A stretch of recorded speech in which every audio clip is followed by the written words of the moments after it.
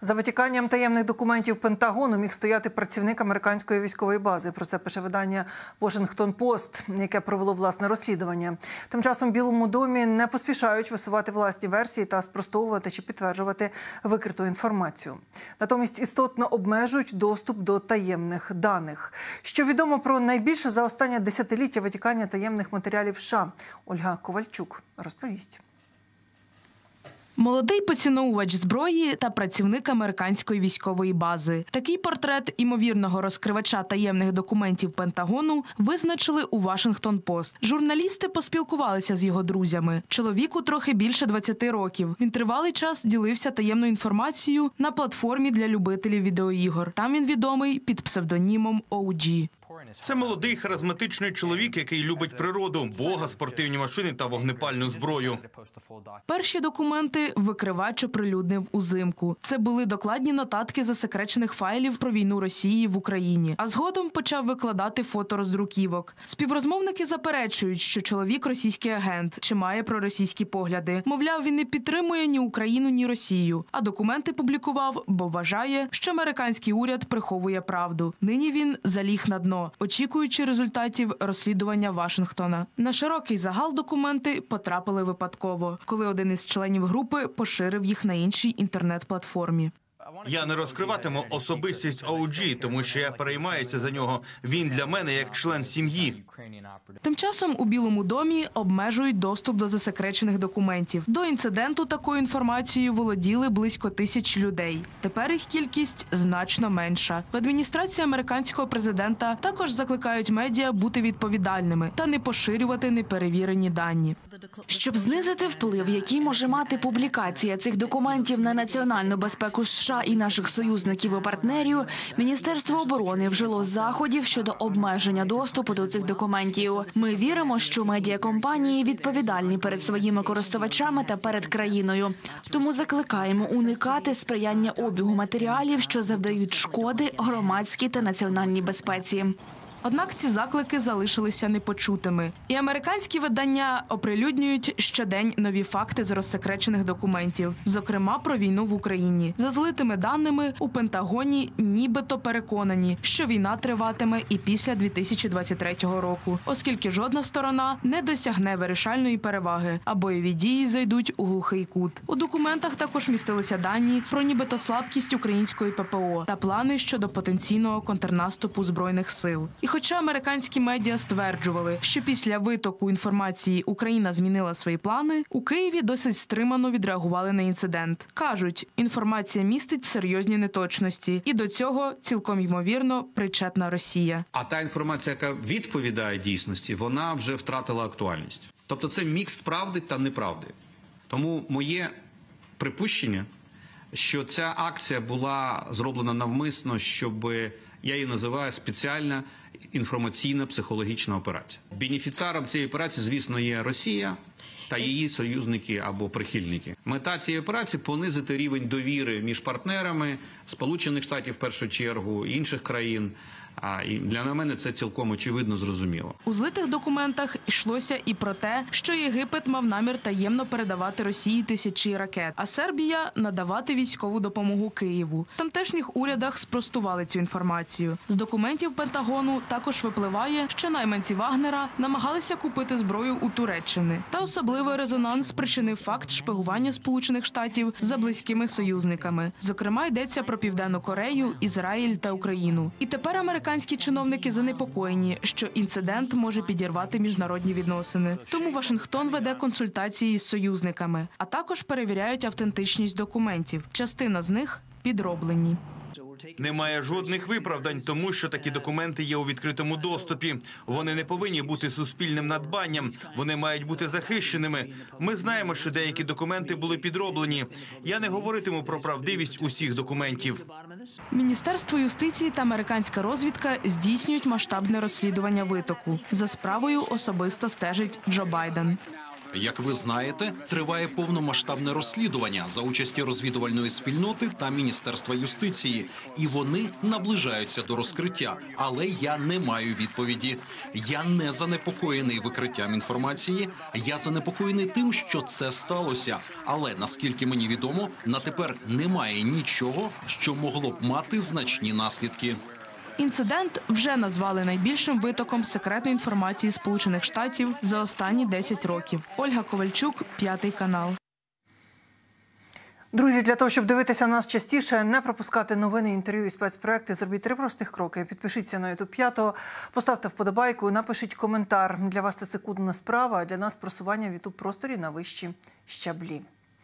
Мільярд євро Рада ЄС затвердила виділення такої суми грошей на боєприпаси для України. Йдеться про ініціативу, яка передбачає закупівлю протягом року одного мільйона артилерійських снарядів. Частину з них візьмуть із запасів ЄС, а решту придбають у європейських заводів Польщі, Німеччині та Франції. Це рішення прискорює постачання на спільні закупівлі артилерійських боєприпасів, яких нині найбільше не вистачає українським військовим на полі бою. Від початку повномасштабного вторгнення Росії до України ЄС виділив понад 4,5 мільярди євро на допомогу нашій державі. З сьогоднішнім рішенням ми вводимо в дію першу частину історичної угоди, досягнутої лідерам єС щодо підтримки негайного постачання артилерійських боєприпасів для українських збройних сил на суму 1 мільярд євро. Немає кращої демонстрації єдиної рішучості та прагнення єС продовжувати підтримувати законне право України на захист від жорстокого російського агресора. Україна отримає додаткові міг 29 Прем'єр Польщі Матеуш Моравецький оголосив про передачу нової партії винищувачів нашій державі. Про це він повідомив під час дебатів, які організував аналітичний центр Atlantic Council у Вашингтоні. Пише польська агенція Прасова. За словами Моравецького, від початку повномасштабного вторгнення Росії до України Польща отримує бойові літаки, зокрема від Сполучених Штатів. Нині військова авіація країни вже налічує 48 винищувачів F-16. Радянський Міг-29 країна більше не потребує, тому передає їх нашій державі.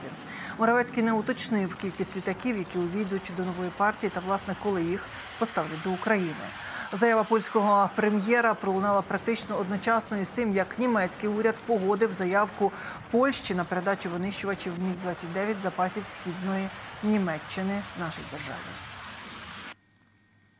Чорне море, як і Балтійське, має стати морем НАТО. У цьому переконаний міністр закордонних справ України Дмитро Кулеба. У Бухаресті завершується Чорноморська безпекова конференція міжнародної кримської платформи. Представники понад 50 країн дискутують, яким має бути майбутнє регіону і як його захистити від російської агресії, теперішньої і майбутньої. За виступами пильно стежить Михайло Прудник. Це політолог, керівник міжнародного відділу п'ятого каналу.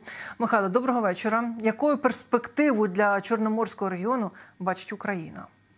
Ну, передусім, треба демілітаризувати Чорне море, щоб миролюбні країни, е, які поважають міжнародне право, могли використовувати Чорне море е, як для торгівлі, так і для подорожей, і не боючися, що їхні кораблі в один момент будуть знищені російськими ракетами, випущені із російських воєнних кораблів, випущені випущені агресором. Ну, саме такої думки під, під, дотримується Україна, та й власне більшість учасників. Е, цього заходу, адже зараз фактично Росія, яка окупувала Чорне море і е, перешкоджає міжнародному судноплавству, е, не дозволяючи ну власне як і Україні, так і іншим країнам регіону використовувати його на повну потужність з усіма її можливостями. Для того щоб це сталося, ну по перше, треба вигнати російські кораблі із Чорного моря і заборонити їм там курсувати.